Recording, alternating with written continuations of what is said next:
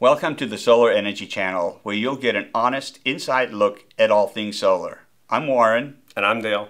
And in this video, we're going to talk about the differences between the ITC, the investment tax credit, and the production tax credit, or the PTC. So Dale, the PTC is new to solar. Tell It us is. about that. Yeah, so the PTC's been around for a long time for wind. It just hasn't been there for solar. So the PTC is is different. The ITC is an upfront tax credit.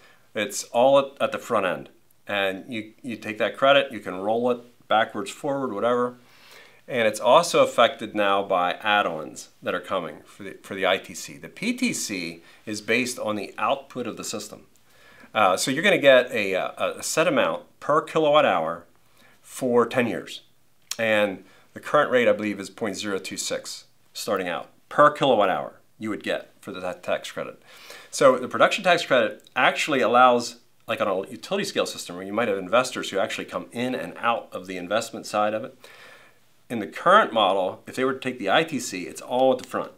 If they take the PTC, an investor who comes in in say year five could get five years of the PTC. So with the ITC, you have to be an owner or a shareholder at the time that the system gets put into production to Correct. take advantage of those tax credits, and that's not necessarily the case with the PTC. That's correct. Yeah.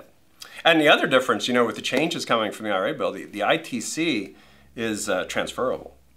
Right. The PTC is not. You have to be an investor in the year that you're actually getting the credit for. Correct. So the, the ITC is based on the cost of the project, and the PTC is based on the production of the, the system itself. Correct. Now, there's another piece to the PTC, PTC which could get interesting, and that is it has an inflation adjuster. Okay. So it's 0.026. So let's say inflation runs hot, high for the next few years. I don't think any of us want that, but let's say it does. That 0.026 could be adjusted up, where the ITC, you're locking the amount at the front end. However, the, the PTC seems to not make a lot of sense for our customers. Yeah, it's it's aimed at uh, large utility scale projects that have very low cost of installation, and because the uh, the amount per kilowatt hour is fixed, so you're getting to 0.026.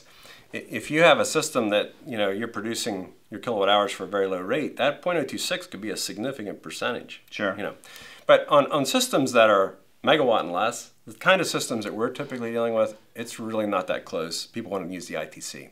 And the ITC is going to have the adders. Uh, so if it goes higher than 30, if you qualify for, um, say, the domestic content adder or the low income uh, community adder or the, the energy community adder, any of those adders completely knocks the PTC completely out of consideration.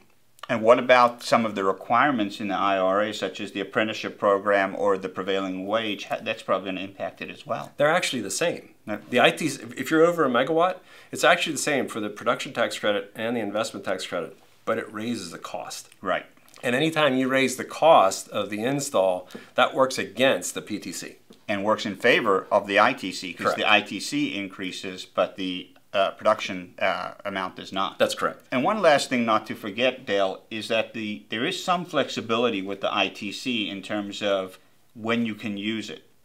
Yeah, so with the new tax bill with, with the the IRA Act, the the amount of the, the ITC could change. You could carry it back three years or carry it forward 22 years. Now you have to use it in the current year if you can, but if you can't, three year roll back is very significant. Sure. And and 22 year roll forward is, is significant. Typically, you want to use it as fast as you can. Uh, Sure. That's the nature of the ITC. But that's a, that's a significant difference between uh, the ITC and, and the PTC. Uh, previously, you could only roll the ITC back one year, Right. and you could roll it forward, I think, for 20, it was 20, 25 years, somewhere in that, in Right. range. Right.